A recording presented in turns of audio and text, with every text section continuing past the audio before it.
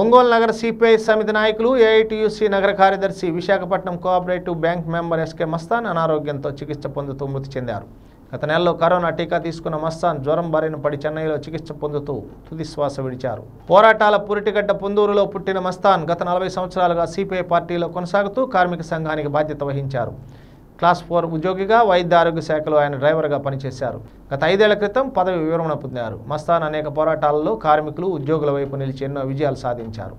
గత మాసంలో రిమ్స్లో పనిచేస్తున్న కాంట్రాక్ట్ సెక్యూరిటీ సిబ్బందికి పన్నెండు నెలల బకాయి జీతాలు ఇప్పించారు. మస్తాన్కు పలువురు నివాళులర్పించారు మస్తాన్ లేని లోటు సిపిఐకి కార్మిక లోకానికి లోటని పలువురు నాయకులు అన్నారు. మస్తాన్ కుటుంబ సభ్యులకు తమ సానుభూతిని తెలిపారు.